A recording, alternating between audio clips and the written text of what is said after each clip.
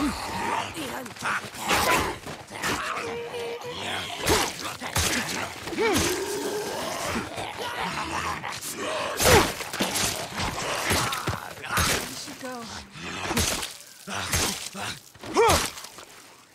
shouldn't be out here.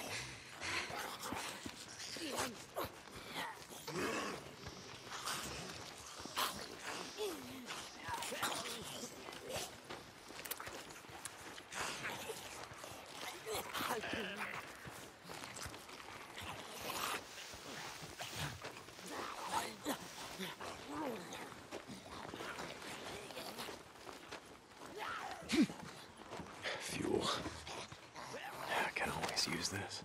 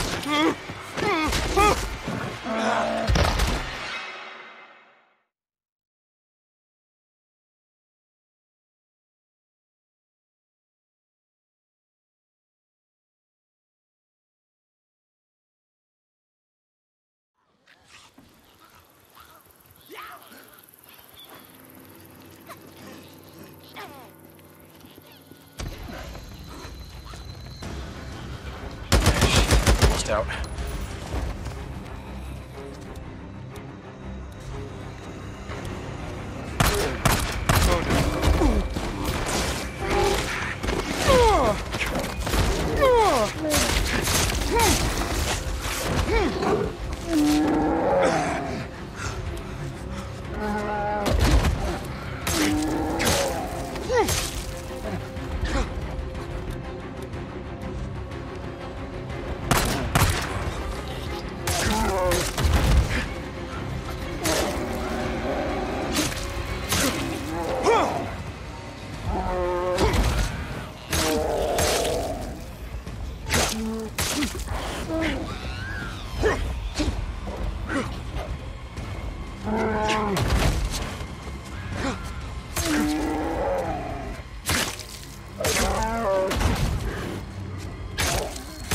Oh.